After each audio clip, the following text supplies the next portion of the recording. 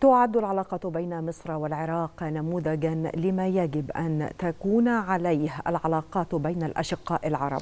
تؤمن القيادة السياسية المصرية بأن العلاقة المتوازنة بين القاهرة وبغداد تخدم أمن واستقرار الإقليم أيضا. المزيد في سياق هذا التقرير.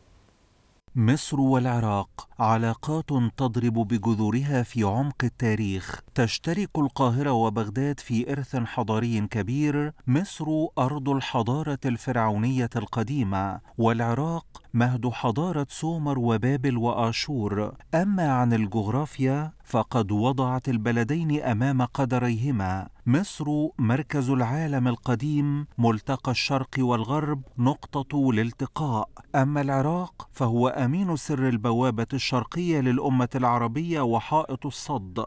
مقدمة لا بد منها للتعريف بالبلدين باعتبار مصر والعراق نموذجا للعلاقات القائمة على الندية والاحترام والتقدير المتبادل. وبعد ظروف صعبة اجتاحت الشرق الأوسط وتأثر بها البلدان ها هما يتجاوزان ما فاتهما؟ وقد بدأ العمل منذ سنوات على استعادة الزخم للعلاقات بينهما إضافة إلى التعاون والتنسيق في مختلف القضايا والملفات الثنائية والإقليمية والدولية. تؤمن مصر بأهمية وحدة وسلامة واستقرار العراق وتؤكد دوما رفضها التدخل في شؤون العراق الداخلية وانتهاك سيادته وأراضيه وهي أحد أكبر داعميه أمام محاولات الهيمنة والسيطرة وتعلن ذلك بشكل علني أمام جميع المحافل وفي مختلف المناسبات كما تؤمن القيادة المصرية بأن علاقة صحية ومتوازنة مع العراق هي في صالح شعبي البلدين وتخدم أمن واستقرار الإقليم أيضا.